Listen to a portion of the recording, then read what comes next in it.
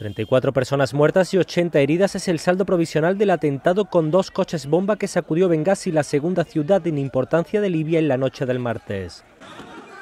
El primer vehículo explotó cuando un grupo de fieles salía de una de las mezquitas del barrio de Almanilla en el centro de la urbe y el segundo 30 minutos después cuando ya habían llegado los servicios de socorro. La mezquita suele ser lugar de reunión de uno de los grupos salafistas aliados del mariscal Yalifa Haftar, un exmiembro de la cúpula que opó al poder a Muammar al-Gaddafi que 40 años después se ha convertido en el hombre fuerte del país. La forma de operar apunta a los grupos yihadistas a los que Haftar ha combatido tanto en Benghazi como en otras ciudades del este de Libia.